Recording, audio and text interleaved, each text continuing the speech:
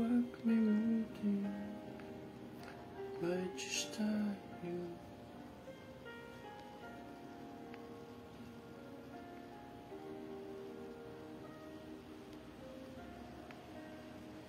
Ang siyang pumukaw sa aking but at kaluluwa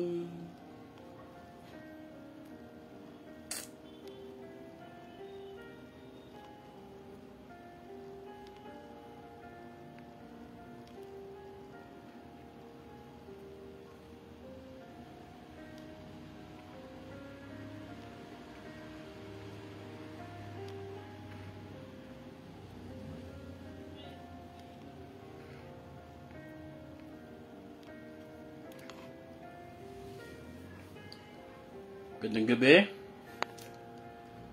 Gandang gabi po, Pastor June. Sister Victoria, magandang gabi po. Brother Marcy, magandang gabi. Magandang gabi. PJ, wow, from Dubai.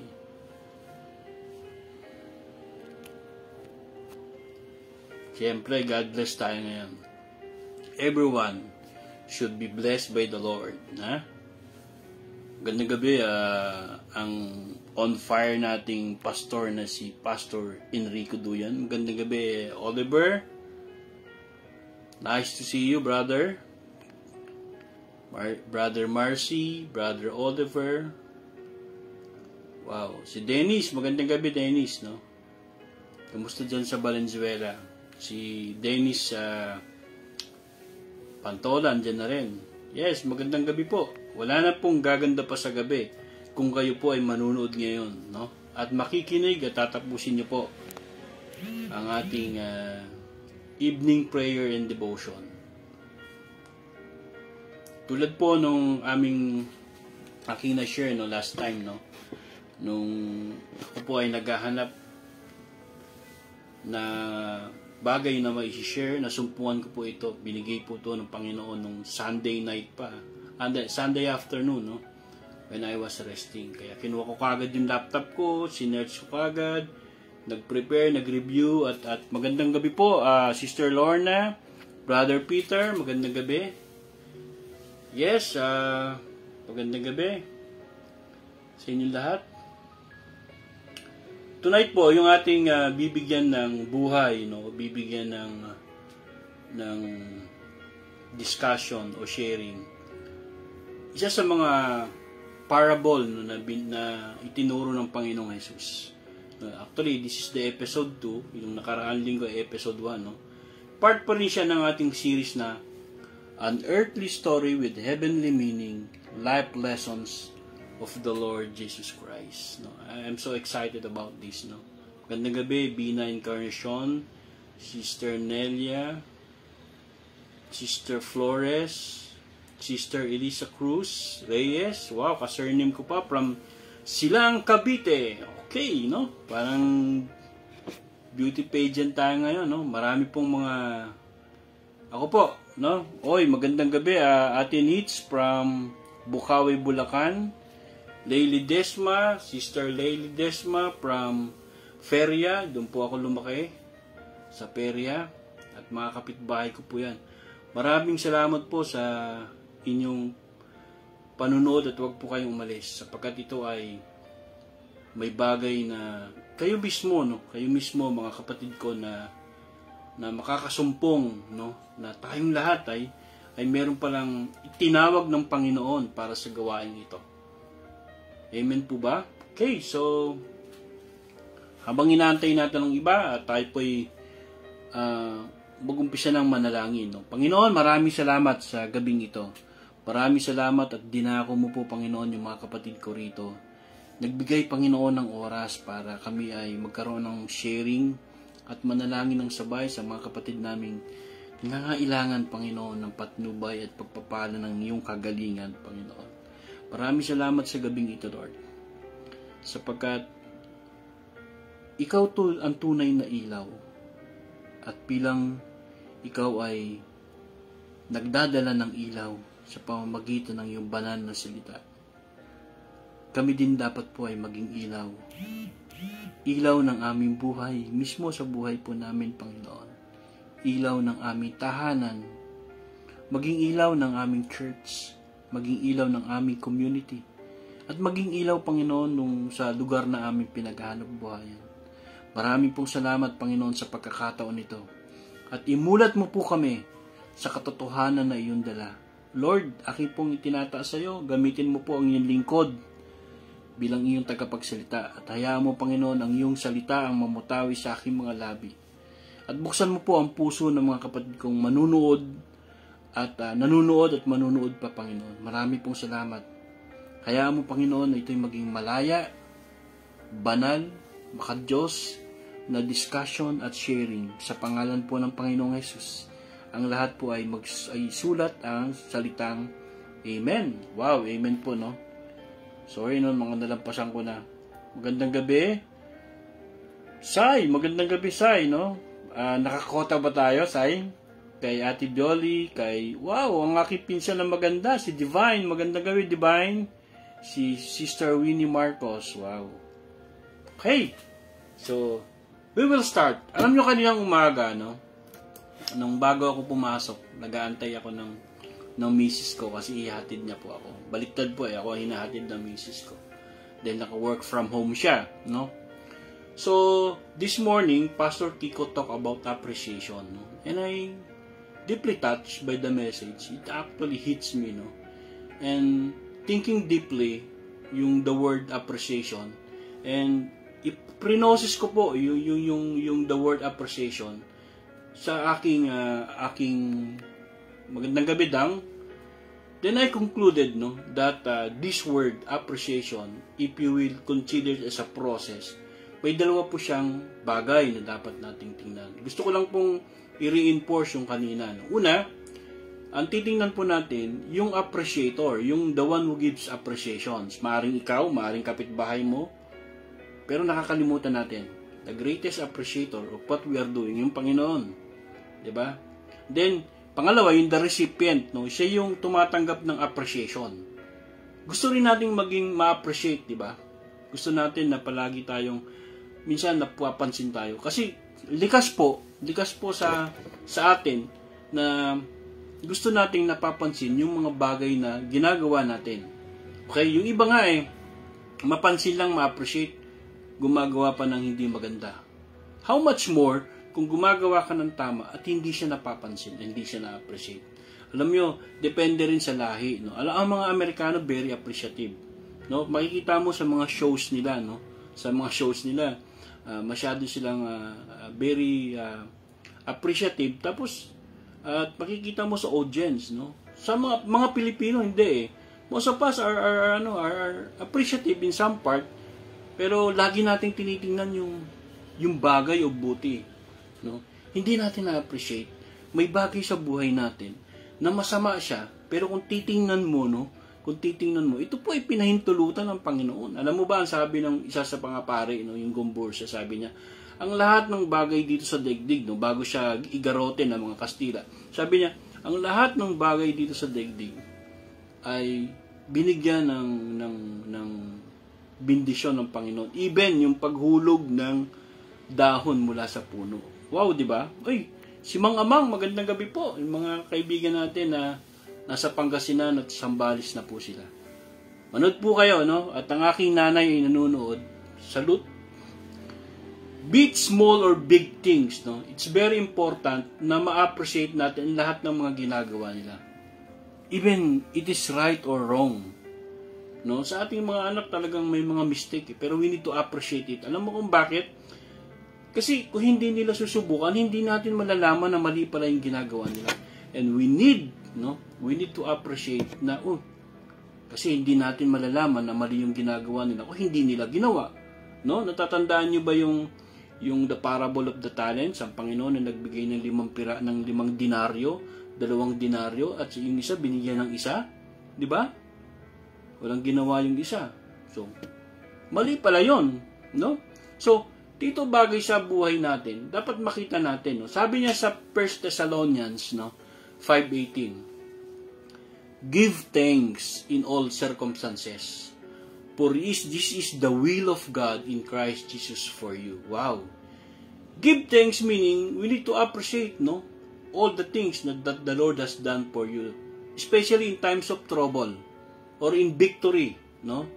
Normally tayo gusto nating ma-appreciate in victory. Yes, we are bound to appreciate all things that surrounds us. That include uh, people who are with us, no? But more importantly, your God in heaven appreciated you more.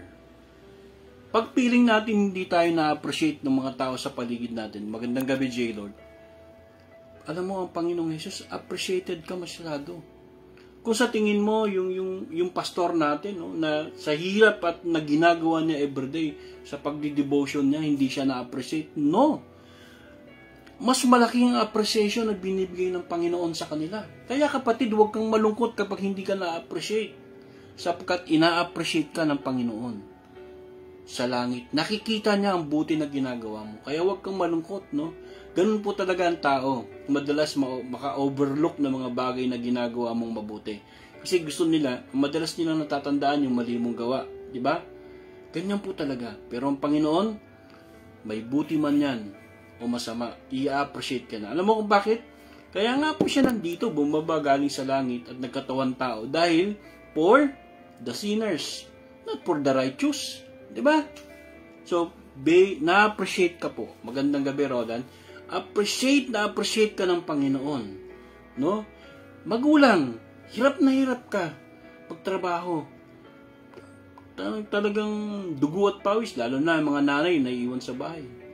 Akala natin hindi tayo na-appreciate ng mga anak natin, ng mga asawa natin.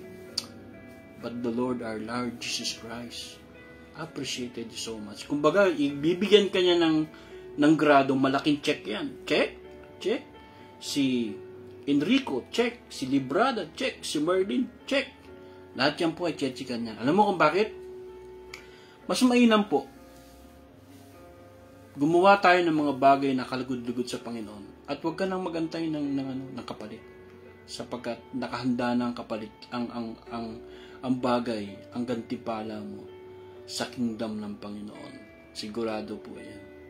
Hindi mo man maranasan ang appreciation ng tao, pero ang Panginoon appreciated ka so much. Then later on, I'll tell you, the Lord Jesus Christ will touch their heart, no? They will put seeds in their heart, no? And they will tell you, and I will tell you now, yung appreciation, no? Na hinahanap mo, He will give that to you in His perfect time. In His perfect time. Okay? And then, and then ito po, kay Sister Violet Dasmariñas from Liliw, Laguna. Wow, ang layo na yan. No? Magandang gabi po, Pastor Louie. Sabi ni Miss Marie Ratso. Okay, no? Then, if people fail to consider and appreciate you, do not be dismayed or be do not be uh, discouraged, no? Your Father in heaven look at you as a precious gem. Napaka-importante ka sa Panginoon. No? Napaka-importante. And you know why, no? And I realize, no? Yung mga tao na may sakit ngayon, may taong na, may, may mga pinagdadaanan, the Lord is uh, looking at you intently. Tinitingnan ng Panginoon. No? Very appreciative ang Lord. Tinitingnan niya kung anong gagawin mo. Ang, ang, ang in-expect niya, kung pupunta ka ba sa kanya o pupunta ka sa kabila. 'Di ba nung last last sharing natin no, the demon or the devil will deceive you. Akala mo an, uh, anyong tupa yung pala lobo, 'di ba? No? The Lord Jesus Christ cares for you so much, my dear brothers and sisters, no. He loves you so much that despite of our iniquities, yung mga kasalanan natin sa buhay and wickedness, He appreciated us more than what people can give you. Imagine, ha?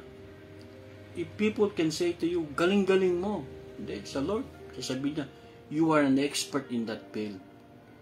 No, I'm preparing a room for you. I'm preparing activity for you in heaven because you are an expert in that field. No, imagine, no? No, ako very excited ako, no? Baka ilagay ako ng Panginoon, no? Pag umakit na ako dun sa sinama, kinawag niya ako. Excited ako. Baka lagi niya akong uh, ilalagay sa pulpito, no? Pangarap lang naman po 'yon. Okay. Tuloy natin. Sabi niya sa, sa 2 Corinthians 5.20, New Living Translation, sabi niya, So, we are Christ ambassadors. God is making His appeal through us. We speak for Christ when we plead, come back to God, sabi niya. This is related, no, sa things that we are going to to share, no.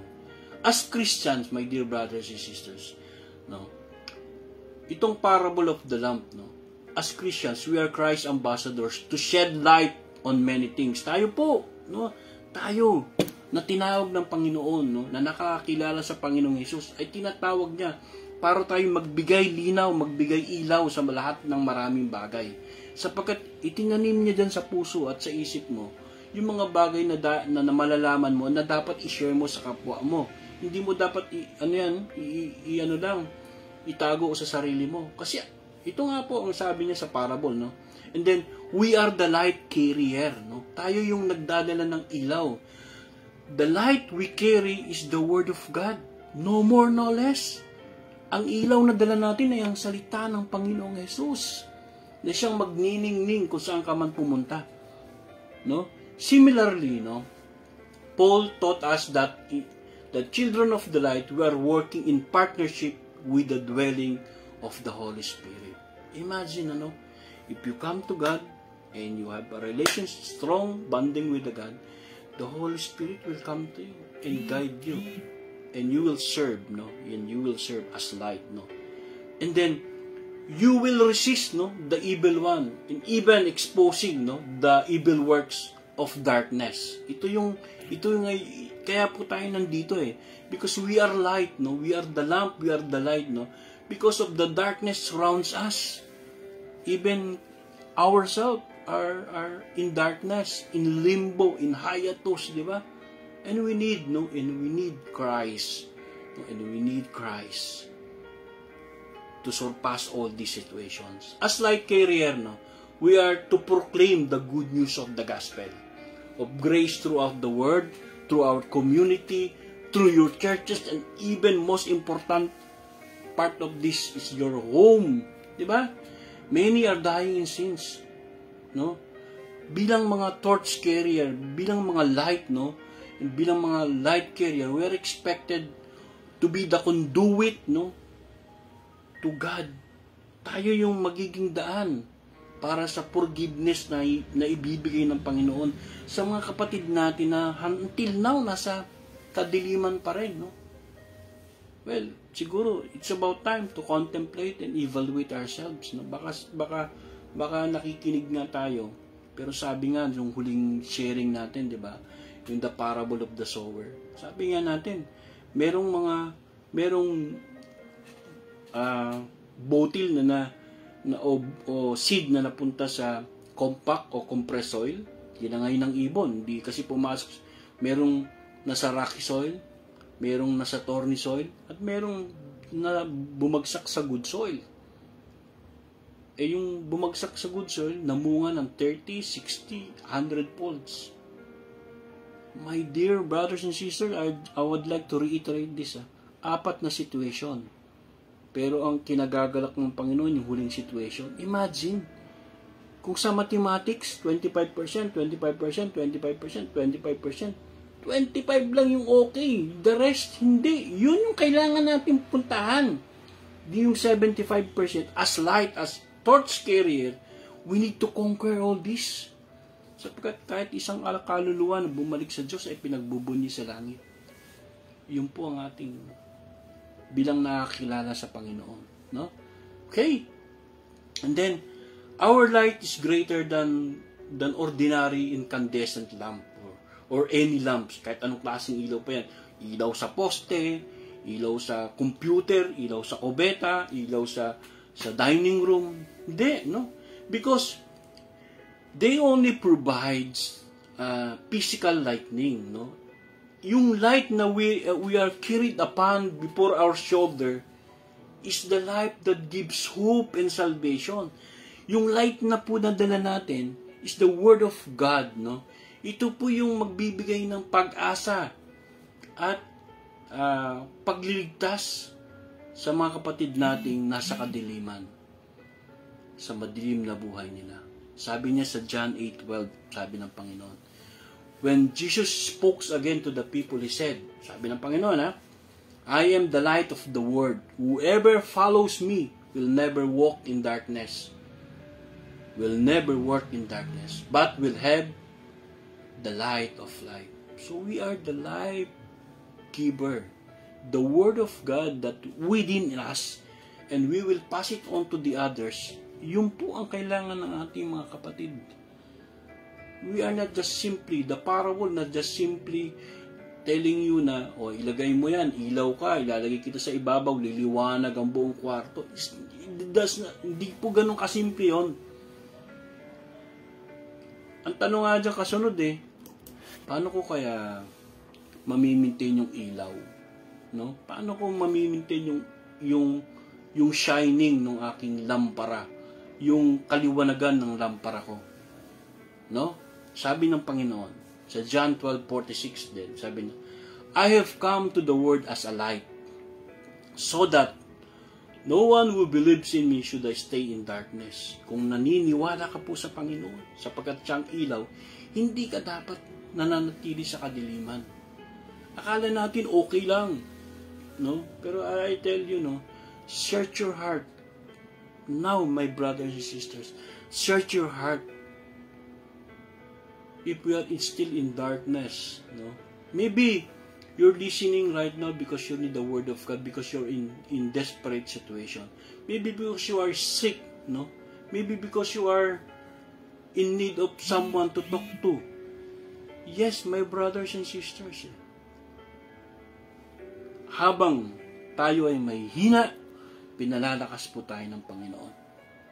Sapagkat siya ang, ang, ang, ang ilaw na nagbibigay ng buhay at bilang mga anak niya, dapat maging ilaw rin tayo para sa ating kapwa.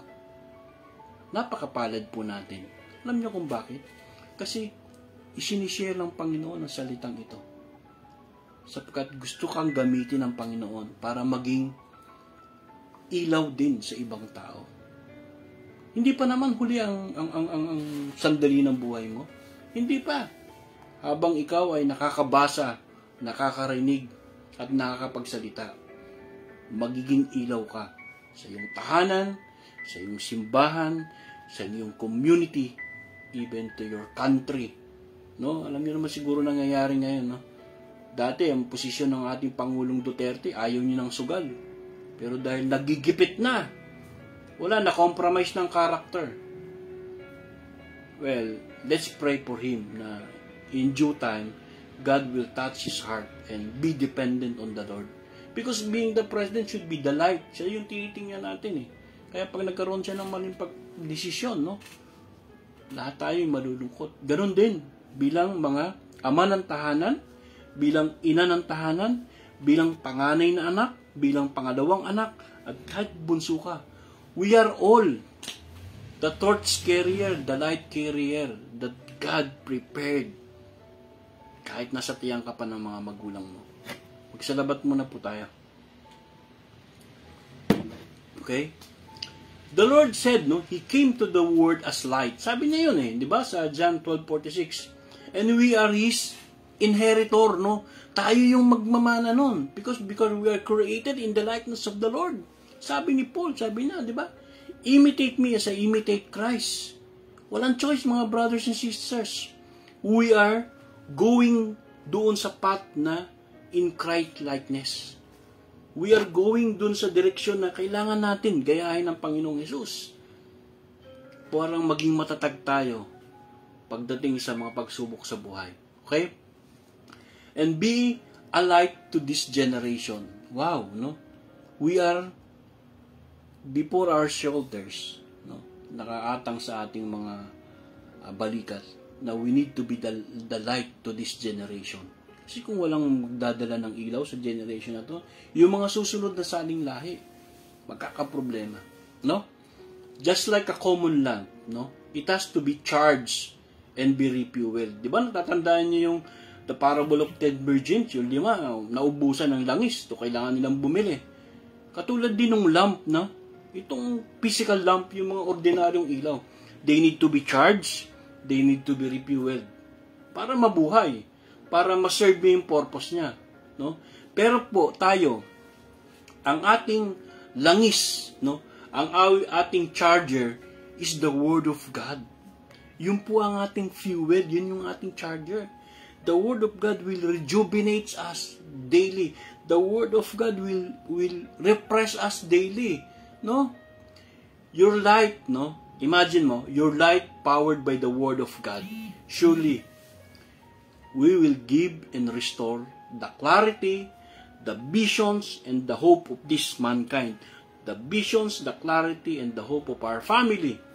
The visions, the clarity, and hope of our churches, of our community, of our work. Wow. No? We are we are not expected to be to hide, no? Hindi hindi hindi, inaasahan sa atin na itago mo yung ilaw na dala mo, no?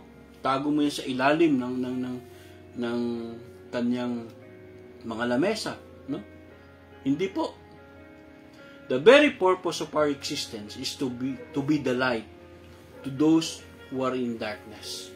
Yun po ang ating purpose. At mapalad po tayo, no? Magandang gabi, Julie Egar, Mary Joy in Carques, ang mga bata dyan sa Service Road, and malapit sa church ni Pastor Kiko. Okay. Bigyan na po natin, himayin po natin, no? Himayin po natin. Sabi niya, sa Matthew 5:14, 16, sabi niya. Verse 14, You are the light of the world. A town built on a hill cannot be hidden. Sa Tagalog, kayo ang ilaw ng sanlibutan at ang isang lungsod na nakatayo sa ibabaw ng burol ay hindi may tatago. Unang kaliwanagan, unang kaliwanagan, tandaan natin, this is absolute. Meaning, we are bound to be light. We are bound to be a torch carrier. Not just like na towering light ng ating tahanan bilang ama't ina, no? O, o towering light ng ating community, ng ating community, church, even, even this country. When we say towering, no, people look at you as their source of goodness, hope, faith, love, and joy. Being light is we enjoy the fruit of the Holy Spirit because the Holy Spirit will connect and move for you. Sabi niya sa Galatians 5, 22 and 23. Verse 14 po, sabi ng Panginoon, di ba? It is, this is absolute. Wala kang pagpipilian. Yes lang ang sagot mo. You are a light. Sabi niya, you are the light of the world, sabi ng Panginoon. No? He told this to the crowd, ah. O, sabi sa Galatians 5, 22-23, sabi niya, But the fruit of the Spirit is love, joy, peace, forbearance, kindness, goodness, faithfulness, gentleness, and self-control. And against such things, there's no law. Then, my brothers and sisters, back to your old self. Am I having all these traits and characteristics? Yung gift ba ng, ng Holy Spirit ay nasa akin? Please, meditate on that. You cannot be a light. You cannot spread the word of God and, and, and use as light of this word kung wala po ang banal na espiritu sa buhay natin. Lagi po natin tatandaan yan. Okay? So, verse 15, sabi niya sa verse 15, Neither do people light a lamp, put it under a bowl. Instead, they put it on its stand and gives light to everyone in the house. Sa Tagalog po, walang taong nagsisindi ng ilaw, pagkatapos ay inilalagay iyon sa ilalim ng banga, sa halip, inilalagay iyon sa talagang patungan upang matanglawan ng lahat ng nasa bahay. Pangalawang kaliwanagan. Act now. Do not alienate yourself. Stand firm to your faith Take the lead. Manguna po tayo. Take the lead in your home. Take the lead in your church. Take the lead in your community. Huwag po tayong matakot. Dahil sabi ng Panginoon sa Proverbs 3, 5 to 6, sabi niya, Trust in the Lord with all your heart and do not lean on your understanding. In all your ways, acknowledge Him and He will make straight your path. Sabi pa ng Panginoon, I will not leave you, I will not forsake you. Our Jesus Christ is our ever-present help in times of our trouble. Oh, bakit ayaw mo pang pangunahan? No? Bakit ayaw mo pang gawin na maging ilaw, maging light, maging torch carrier of your home, of your churches, of your community, and even at your work. Diba? Sa verse 16 po, no? Sabi niya sa verse 16, The same way, let your light shine before others, that they may see you, good deeds, and glorify your Father in heaven. Gayon din man, dapat ninyong paliwanagin ang iyong ilaw sa harap ng mga tao upang makita nila ang iyong mabubuting gawa at papurihan ang iyong Ama na nasa langit. Mark 16:5 15 sabi niya. Sabi, sabi ng Panginoon. And he said to them, Go into the world and proclaim the gospel to the whole creation. Take the light and arm yourself with the word of God. Live it out, ipamuhay mo po ito. No? At iyong ipasa, ipamahagi ang kaliwanagan sa iyong tahanan, sa inyong simbahan, sa inyong community, at gawin, gawin niyo itong kapuri-puri sa Diyos Ama sa langit. Sabi niya sa John 8.12, When Jesus spoke again, He said, I am the light of the world. Whoever follows me will never walk in darkness, but will have the light of life. My brothers and sisters, we are the light of this world, and we need to take a bold step to be light.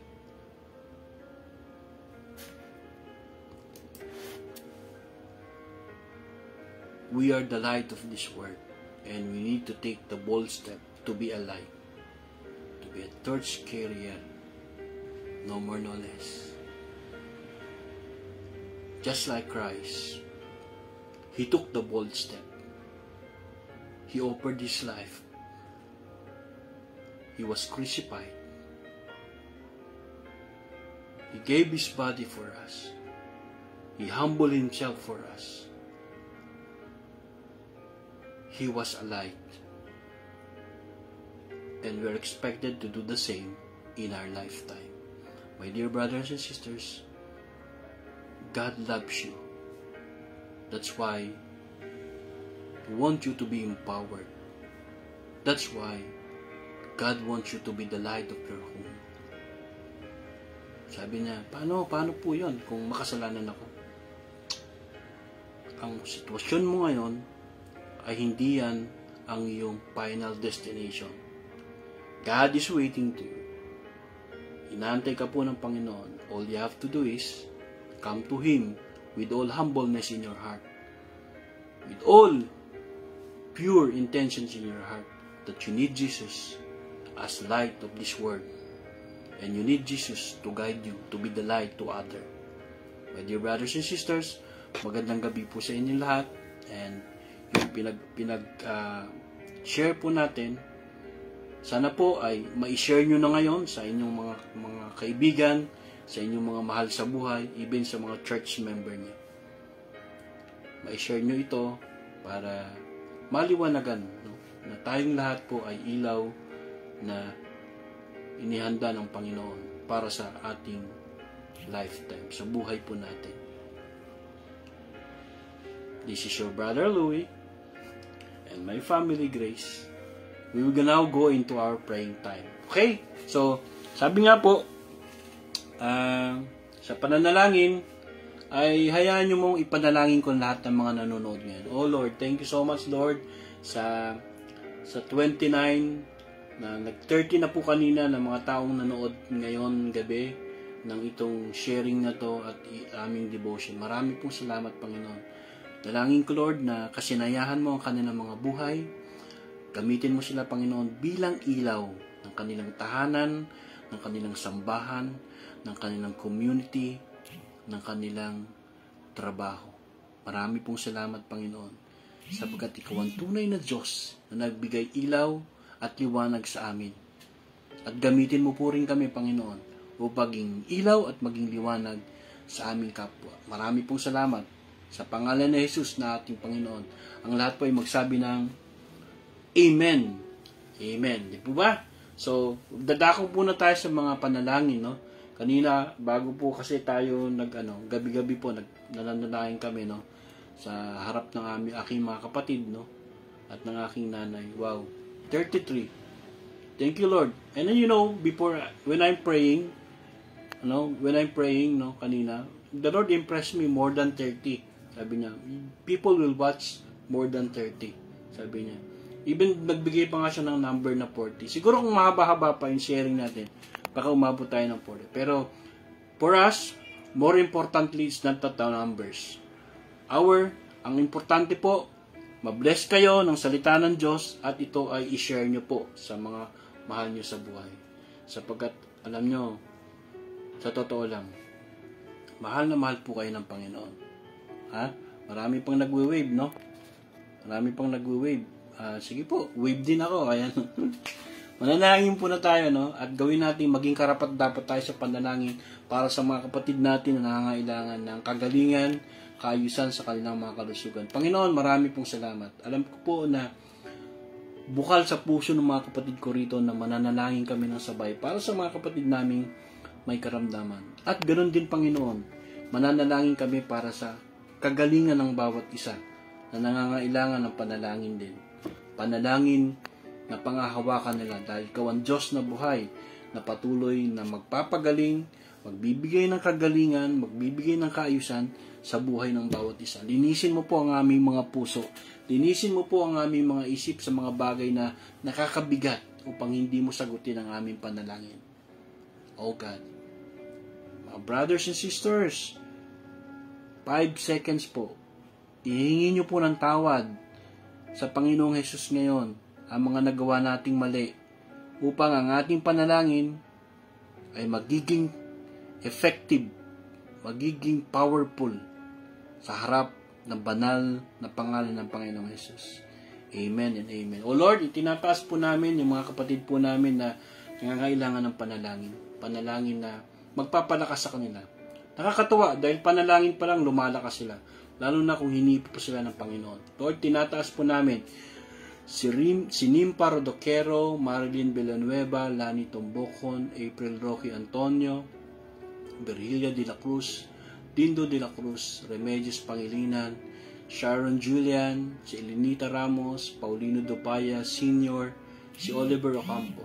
Panginoon, sila po mga kapatid namin na may mga pinagdadaanan mabigat na karamdaman na cancer. And I pray, Lord, deeply in our heart, alisin mo na, Panginoon, yung mga cancer cell na sa katawan nila. Bigyan mo sila, Lord, ng kalakasan upang mapaglabanan nila physically, Panginoon, yung nararamdaman nila. Give them courage, O God. Give them a uh, uh, physical strength so they could continue to carry on and be the light of this world, be the light of their family, Panginoon. And and we pray, Lord, we pray healing for them, we pray healing for them in the mighty name of our Lord Jesus Christ. Amen. Magandang gabi, Jen. Yan, hinipo ng Panginoon niya, pinagaling ni high blood niya. Okay? Ayan po. And we also pray, Lord, kay sa prayer request ng kapatid ko kanina, meron siyang friend na nagkaroon ng kidney transplant for recovery. Pero mamaya na yon sa recovery part, no? We'll pray for kidney patients, si Christy Araki, si Chester Tiglao, si Lydia Cruz, Eduardo Francisco, si Pastor Artuyan. Aming Panginoon, ma- sa kataas-taasan ng langit, pinupuri ka po namin, niluluwalhati ka po namin. Tunay nga ikaw ay dakila, tunay nga ikaw ay mahabagin. Tinataas namin po sa iyo, Panginoon, yung mga pangalan na banggit ko na may mga kidney problem sa pangalan po ng iyong anak na si Jesus. Kabanal-banalang pangalan ni Jesus. Sila po ay gagaling. Ihipuin ng Panginoong Jesus ang kalagayan nila. In Jesus' name, Amen and Amen. And we pray, Lord, for those people with heart ailments and chest problem, si Alan Mendez, si Shiril Baskugin, hi sister, Marisa Duyan, Aldrid Lobit, sa pangalan po ng aming Panginoong Yesus, Diyos na makapangyarihan, Diyos na mahabagin, Diyos na buhay. Hipuin mo po, Panginoon, ang kanilang karamdaman. At igawad mo na, Lord. Dalangin namin, Lord, igawad mo na ang kagalingan na kailangan nila sa kanilang buhay. And we pray, Lord, Hi, Ansel. We pray for protection ng aking kapatid, si Santiago Reyes, sapagkat yung buong barko nila ay na-infect na. Magandang gabi, uh, uh, Jen. Santiago Reyes, Lord, uh, bigyan mo ng protection mula sa COVID-19, banta ng COVID-19 at ang kanyang mga kasama. Yes, Lord, pa, pa, bigyan mo sila ng kalakasan upang mapaglabanan nila yung sitwasyon nila dyan sa Mexico. Sa pangalan po ng Panginoong Yesus, we declare, Lord, protection upon protection for them. In the mighty name of our Lord Jesus Christ. Amen and amen. And we pray for Benjamin and Marie Chris Artus na na maayos na po ang kanilang uh, ang kanilang uh, papers papunta ng Canada. Thank you, Lord. And we proceed to the next page of our prayer. Well, Lord, we will pray for those people who have anxiety and depressions. No? These, these situations uh, brought about by the sins they committed in the past. Sins that they cannot let go. Forgiveness that they cannot give. Oh God, you're a merciful God. I pray, Lord, for depression-free, anxiety-free for Carla K. Frondoso, kay Genesis Baldonio, kay Clyde Brigoli, sa pangalan po ng Panginoong Yesus. Pabalikin mo na sa iyong kandungan at tuluyan na po silang magbago. At tuluyan na pong magbago at mawala na yung depression at anxiety nilang nararanasan. Sa pangalan po ng Panginoong Yesus. Sa panalangin, sa panalangin at pagpapalang ibibigay ng Panginoong Yesus. Amen and amen. Alam mo, nung ang ating Panginoong Yesus ay nagdasal sa Gethsemane, tatlong beses po siya nagpatira pa para mawala yung anxiety niya, yung pag-aalala niya. Tatlong beses po, no? tatlong beses. Nagpatira pa siya sa kanyang Diyos Ama para makita niya na na tanggalin na yung nararamdaman niya. Pero hindi niya, pero sabi niya, your will thy be done kung ano ang ang, ang gusto ng Diyos Ama, yun ang susundin niya. No? Pero nawala ang anxiety niya. You know why? He was consoled by the God the Father. And you want to be consoled, and you want to be feel calm, go to the Father. Go to the Lord Jesus Christ. And He'll give you rest. Diba?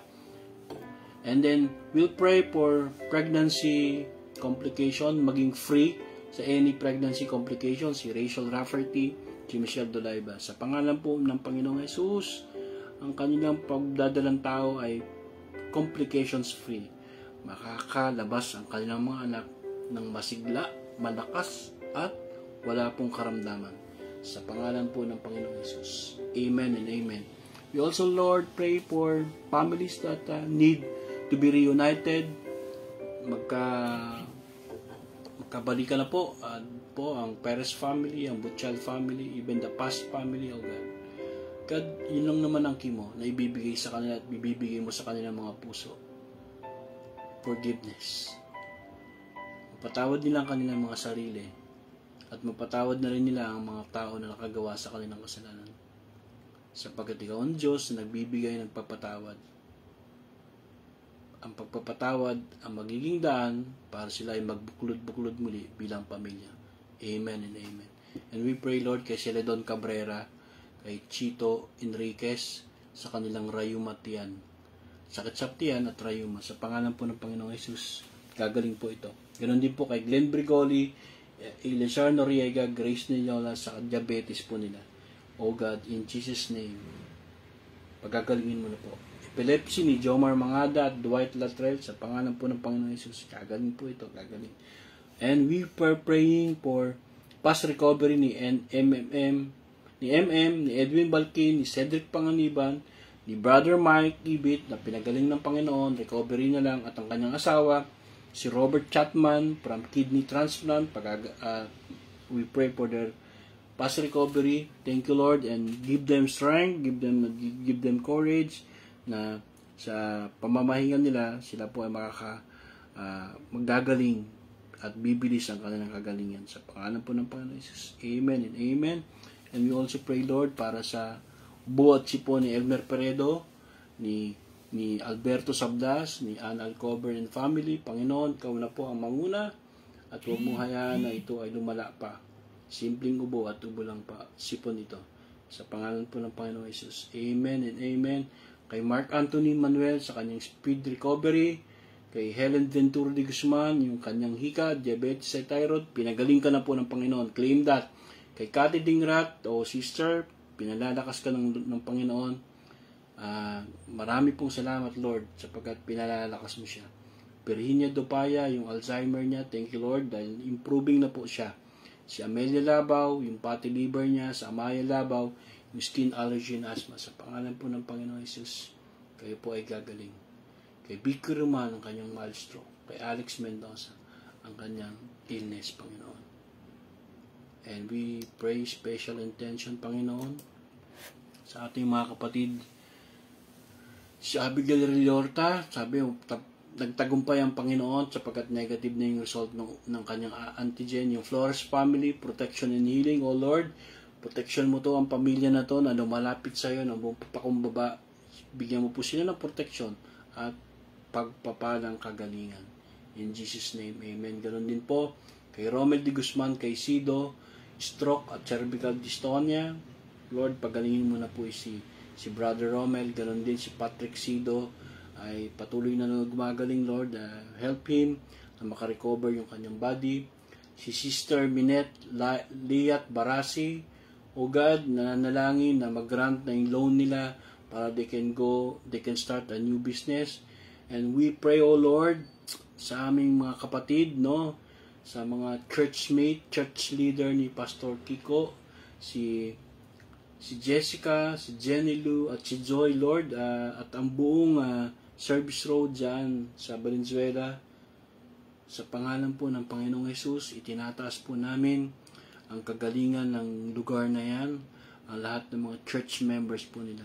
At yung mga pamilya pa, Lord, na nandoon sa community na yan, huwag mo hayaan, Lord, na ma-infect pa sila ng influenza o trangkaso. Alisin mo, Panginoon, ang kanilang pag-aalangan, kanilang pagiging balisa. Bagkos, palitan mo ito ng, ng kapayapaan. Alisin mo, Panginoon, ng lagnat, ang ubo at sipon. Palisan, palitan mo ito, Panginoon, ng kalsiglahan. Sa pangalan po ng Panginoong Yesus, dinideclare namin, Panginoon, ang lugar na ito ay lilinisin mo. In Jesus' name. Amen and amen. Wow! Thank you for for bearing with me. Ako po si in behalf of LOJ family, Valenzuela, in behalf of Pompac Plastic Corporation Value Formation Center, in behalf of my wife, Grace, and my children, and my mother who is watching right now, and my friends is watching, who's watching right now, yung gumawa po ng poster, si, si Marie, and si Jed, marami pong salamat. Pagpalain po tayo ng, ng Diyos na, na buhay, Diyos na pagmahal. Mahal ka po ni Kristo, pumunta po tayo sa Panginoon. I-declare po natin ang kanyang paghahari sa ating buhay. Jesus reigns! Jesus reigns! Jesus reigns! Jesus reigns! Jesus reigns!